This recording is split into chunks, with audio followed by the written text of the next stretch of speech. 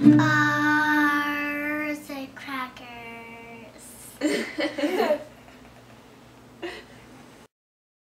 Hey everyone, I'm Alyssa from Arts and Crackers and today I get to review the Dyson DC59 Motorhead. It's a cordless handheld vacuum mm-hmm. and it's one of their newer models actually. It comes with a whole ton of pieces. Today I'm going to just try out a couple of them. I've not tried it before yet, um, but uh, we're going to work on the stairs first.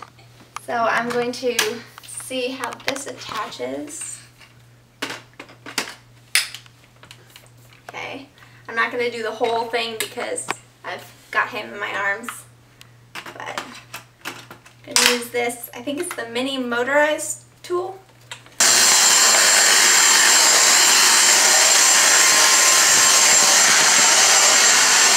Alright, I'm going to try another tool with the big mess that my son made. I believe this one's called a multi-tool. Alright.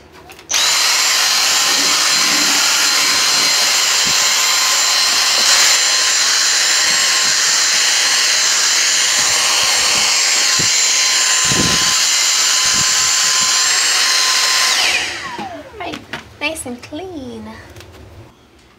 Overall, I really have to say I love this vacuum cleaner um, for multiple reasons. It's really lightweight, um, which is nice compared to a lot of vacuum cleaners that are really bulky.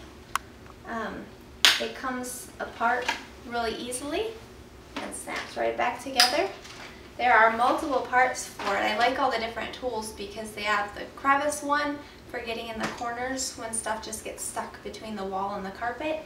Um, they have ones that work on hard floors and carpeting, which is awesome because a lot of them you have to do all these crazy adjustments just to use it on like hardwood or linoleum.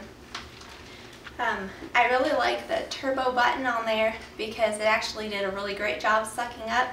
If you can kind of see inside of here, it's a whole bunch of trash. That is about two of my steps on the turbo mode, which is actually really sad, but it's awesome that it cleaned it that well.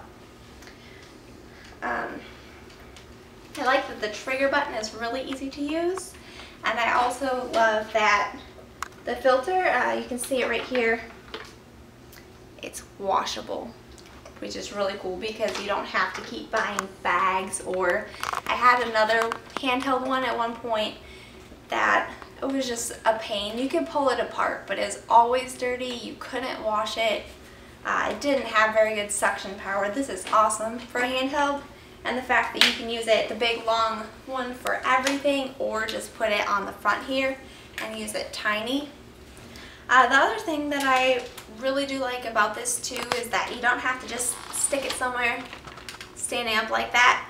Uh, there's actually a mount that you can stick this into up on the wall, which is handy because then I can put it out of the kid's reach. The only thing I don't like about that is that the larger heads, um, the mechanical ones, don't hang on there. It's just for the smaller parts, which is fine. I just have to find another place to store them.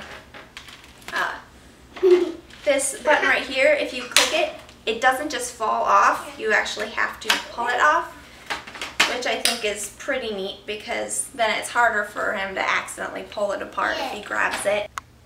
It's so easy to use that my kid can actually use it, which is a big score for mama.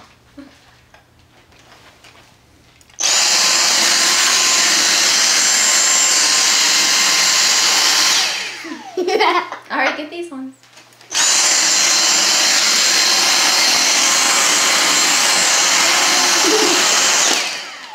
To find out more, visit my blog, artscrackers.com. You can find a direct link to this post in the description below.